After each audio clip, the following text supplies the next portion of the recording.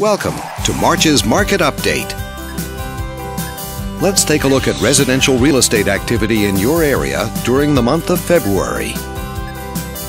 The number of active listings was down 20% from one year earlier and up 14% from the previous month.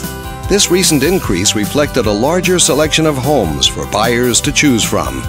As you can see, the median listing price for the month was this much Compared to last year, the average number of days that units spent on the market before being sold did not change, reflecting virtually no change in the local inventory turnover rate.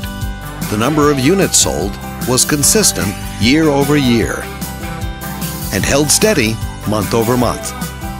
An indication that local market conditions were basically unchanged. Thanks for watching. We hope you use this information to make smart, informed decisions in your upcoming real estate transactions. Click on screen to contact us for more information or further assistance.